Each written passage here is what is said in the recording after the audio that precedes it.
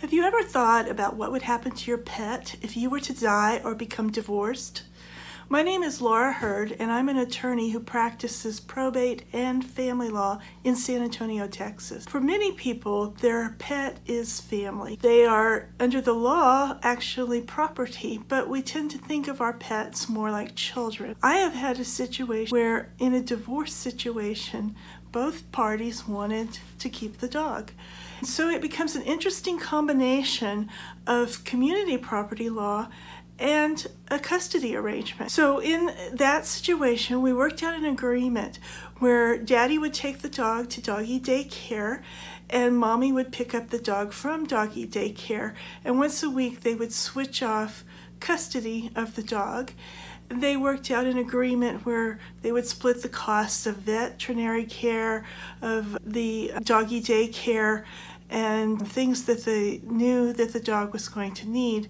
So we put that in the court order, actually in the final decree of divorce, so that it is an enforceable court order. Many elderly people have pets that are used to constant attention from their owner, a lap dog, for instance. It's really sad to think that whenever the owner passes away, that that pet not only loses their constant companion, but loses their home and often ends up in a shelter. So to remedy I have set up trust to care for pets. Now, you could just put in your will, I leave my dog to my daughter, as long as you're confident that your daughter has the financial means and the love and the skill to take care of that pet. But if you really want to make sure that that pet is well cared for, a trust set up in your will would be a good way to do that.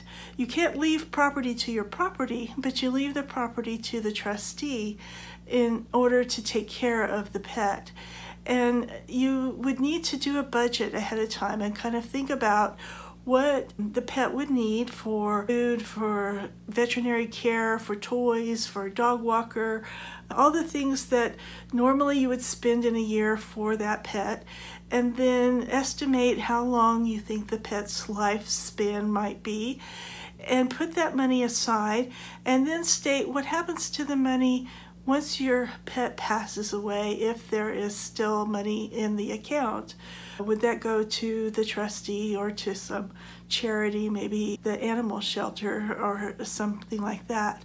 So you can specify in your will or in a separate trust document the things that need to be done in order to make sure that your pet is well cared for after you're gone.